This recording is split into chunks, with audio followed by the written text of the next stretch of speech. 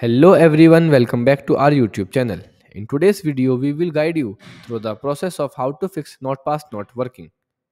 When you encountering issue with NordPass not working, it can be frustrating, especially if you rely on it to manage your password and login information securely. There are several steps you can take to troubleshoot and resolve common problem with NordPass. In this video, we will showing all the fixes that will help you to solve this issue. So our first solution is check NordPass service status. Firstly, ensure that the issue is not on the NordPass side by checking their official social media or service status page.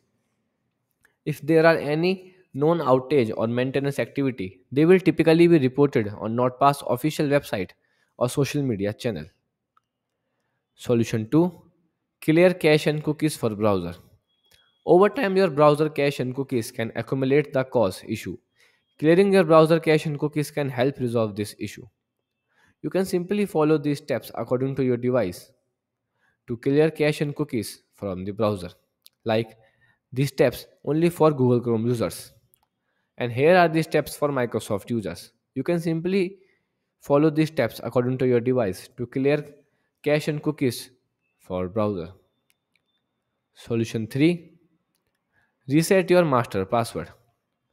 So, if you have forgotten your master password and do not have a recover code, you may need to reset your master password. This this will result in the loss of all stored password. So it should be a last report. So you can follow these steps to reset your master password. Solution 4 Check compatibility for NordPass. So ensure that your device meets the minimum system requirements for running NordPass. Also verify the NordPass is completely with your operational systems and browser versions.